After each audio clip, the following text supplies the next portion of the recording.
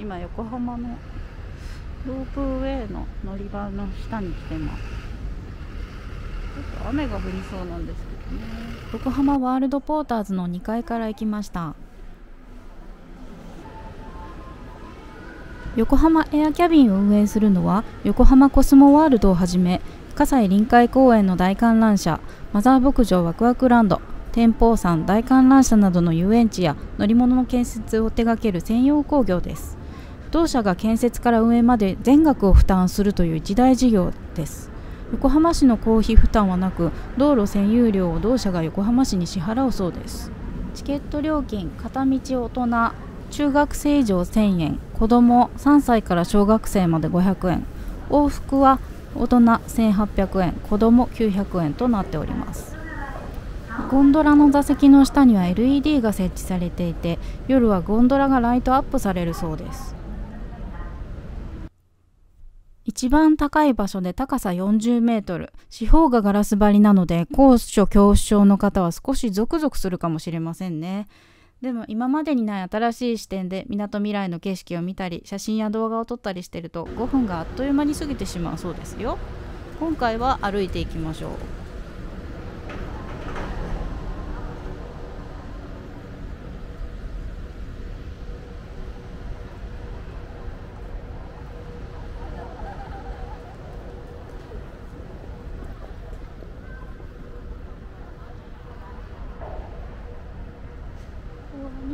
夜になるとカップルが多い場所ですけどこうなんか短時間でロープウェイで渡るのもったいない気がしますね。風もいいしこの景色を楽しんでゆっくり歩きたいですね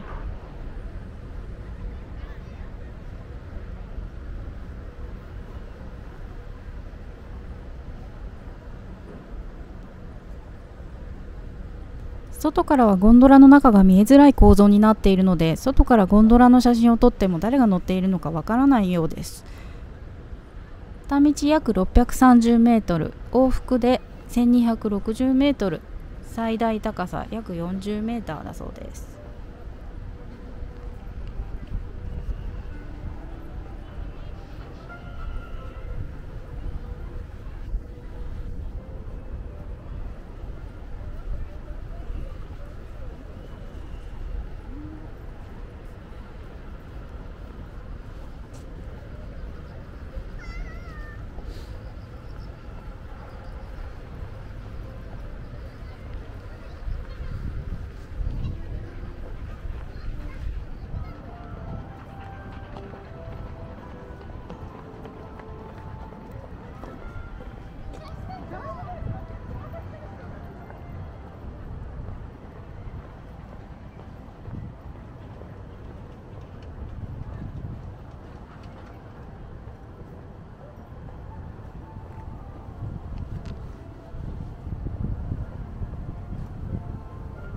カマンが飛んでま